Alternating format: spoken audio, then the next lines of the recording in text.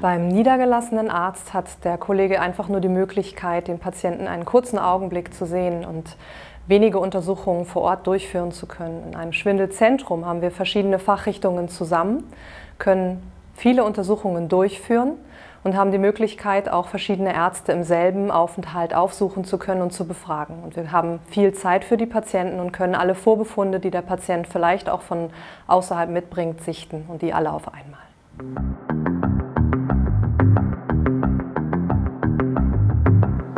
Die häufigsten Ursachen, mit denen Patienten in unser Schwindelzentrum kommen, die schwindelverursachenden Erkrankungen sind Innenohrerkrankungen im HNO-Bereich, die das Gleichgewichtsorgan selber betreffen, zum Beispiel im Rahmen eines Ausfalls eines Gleichgewichtsorgans, das nennt man vestibulares Ausfall oder auch eines Morbus Menier, das ist auch eine Innenohrerkrankung, die Schwindel verursacht. Dazu kommen neurologische Erkrankungen natürlich, die das zentrale Nervensystem betreffen und damit Schwindel verursachen, zum Beispiel auch im Rahmen eines Schlaganfalles.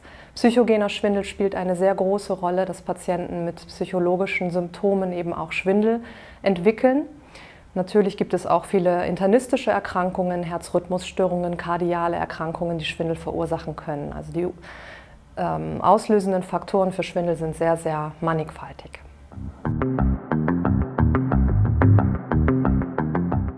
Unser multimodales Konzept umfasst eine Betreuung durch drei Fachbereiche. Das ist einmal die Physiotherapie, das ist einmal die Psychologie und das ist natürlich auch die ärztliche Betreuung durch fachgerechtes Personal. Bei uns sind es Neurologen und HNO-Ärzte, zu denen auch ich gehöre.